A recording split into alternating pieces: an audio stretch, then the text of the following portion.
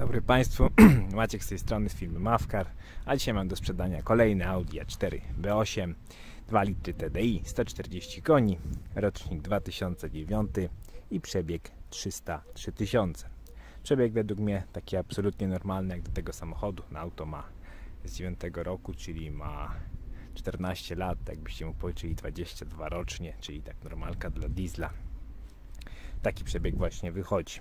No jest to też kombi, no wiadomo, jak kombi kupujesz, no to gdzieś tam jedziesz z rodziną na jakąś trasę, no bo jak jeździsz po mieście, no to bierzesz samochód wielkości, nie wiem, hatchbacka, Audi na przykład A3.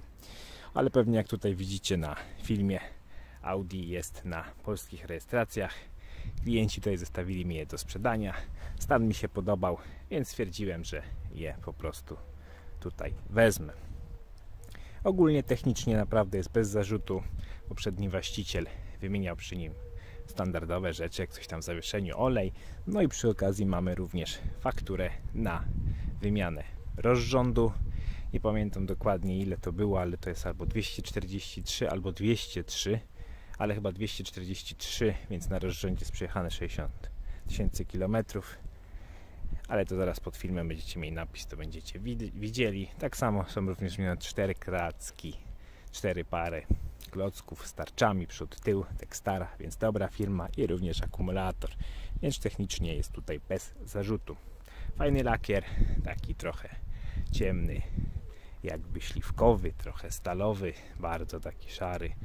Teraz pewnie jak na filmie wydaje mi się, że jest czarny, ale miałem już kilka A4, B8 i w ogóle Audi w tym lakierze. Fajny lakier, ładnie wygląda w słońcu, równie dobrze w cieniu. A z wyposażenia zewnętrznego jest mamy takie coś, co ja lubię, czyli Big Xenon. Przy okazji, jak i to, to mamy czujnik światła, czujnik zmierzchu, przeciwgielne, ładne lufelgi 17 z przyzwoitą oponą. No i chyba jeszcze na zewnątrz jest czujnik parkowania tył. Railingi mamy na czarno, niektóre mają na srebrno. Tutaj się tak komponuje to bardziej w tym samochodzie, taki wydaje się opływowy. Nie widać tak, że tak powiem, nie wyróżnia się to tak na maksymalnie przy samochodzie. Rora z tyłu od wydechu czysta, czyli wszystko na swoim miejscu, czyli DPF. Nikt tutaj przy nim nie grzebał. No i też jest ładnie, jak widzicie, utrzymana, nie jest jakaś po, pociachana. Też nigdzie nie ma na niej korozji, więc fajna tutaj sprawa.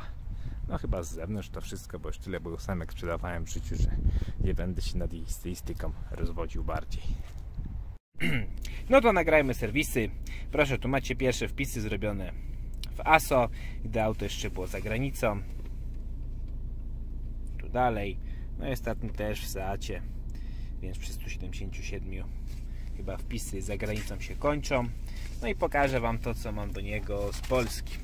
Jest akumulator na gwarancji, nie przepraszam, na gwarancji, ale, ale nie jest taki stary, bo to dopiero ma 4 lata, a te banera są dobre. Proszę, tutaj też ktoś miał żarówki od Xenona 580 zł, czyli jakieś takie lepsze, nie byle co. Dwie sztuki, kiedy to było w 20 a i to jest ta wymiana rozrządu, gdzie Wam właśnie wspominałem. Proszę, 2700 to kosztowało. Jakiś serwis taki troszeczkę lepsiejszy, jak widać. Też w 20 roku, czyli 3 lata temu. No i tu macie jeszcze fakturkę na tarczę. Tarcze przód tył dobrej firmy Textara. W sumie prawie najdroższe tarcze jakie są. Zrobione w 21. No i z książki serwisowej to by było na tyle. Zrobimy pauzę i pokażemy wnętrze. Przechodzimy sobie do wnętrza. Listewka srebrna, tak się prezentuje. Boczek od mojej, mojej strony też jest ładny, nieprzetarty.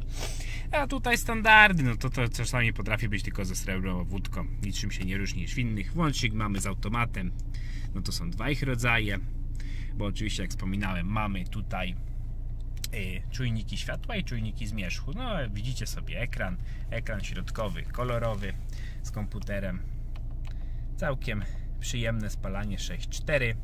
Tutaj oczywiście mamy tempomat, no i kierownica. Kierownica jak na 300 tysięcy, dobrze utrzymana, kierow... nie jest nigdzie ta skórka przetarta.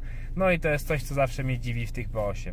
To jak ktoś sobie je potrafi wyposażyć. Tutaj ktoś nie chciał przycisków do kierownicy, wiadomo, nie jest to jakimś musem, bo tak naprawdę sterujemy tylko tym radiem, które mamy na wyciągnięcie ręce, ręki, ale zamiast przycisków to dobrał sobie coś, co naprawdę bardzo rzadko jest nawet w bogatych wersjach dwustrefową, sprawną klimę. No i tutaj też sobie widzicie, pokazuję Wam od razu, jaką macie temperaturkę na ekranie. Ekran drugi kolorowy.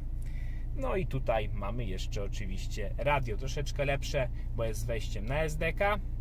No i przy okazji mamy również tutaj Music Audio Interface, więc możemy sobie takim kabelkiem połączyć Bluetooth lub iPhone'ika. Fotele wyglądają tak. Drugi boczek jest cały, sufit też ładny, czysty. No i z tyłu mamy jeszcze Isofix, bo widziałem, że był wyciągany fotelik. Tutaj wszystko też ładnie, mieszek niezużyty, to nie jest podrapane, dwa miejsca na kubki, kolejny schowek, no i jeszcze schowek podłokietniku. Tutaj żadnych wielkich cudów nie wymyślili. No i nie wiem, czy Wam wspominałem, jak nagrywałem dookoła, no oczywiście przy takim aucie macie, e, jak jest zarejestrowane w kraju, ważny OC i przegląd do jakoś chyba połowy września, więc to też jeszcze jakaś kasa jest do zaoszczędzenia przy zakupie takiego pojazdu. No cóż, aucie to tyle. Jeżeli filmik Wam się podobał, zostawcie łapkę w górę, subskrypcję. Jeżeli macie jakieś pytania, piszcie maila lub inne zapytania na jakichś filmach w komentarzach. No i pamiętajcie, odwiedźcie sobie moją stronę mafkarotomoto.pl oraz Instagrama mafkarauta. Cóż, aucie to tyle. Pozdrawiam.